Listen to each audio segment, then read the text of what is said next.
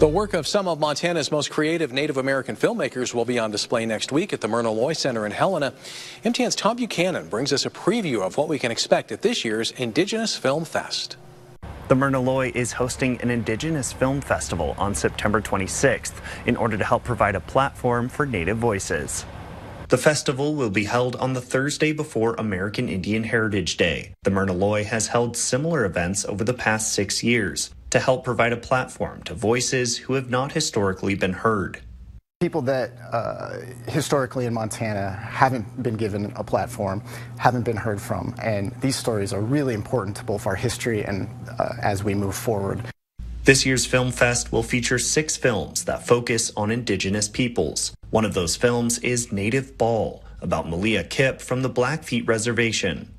In 1992, Kipp became the first Montana tribal member to play Division I women's basketball on a full ride scholarship. Megan Harrington worked on the film, which is an offshoot of another film. There's so much footage and there's so many stories from that feature.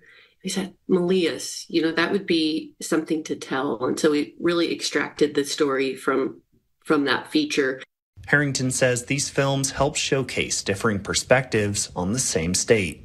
There's different cultural things that we could be more aware of and in watching films like this make hopefully makes you go oh okay i didn't realize that um, that's interesting i want to learn more Mike Jetty, Indian education specialist with Montana OPI, says films like those featured in the festival give representation to those in the indigenous community and help supplement the Montana Constitution's mandate to teach about indigenous people. You know, community events like this at the Myrna, you know, support that.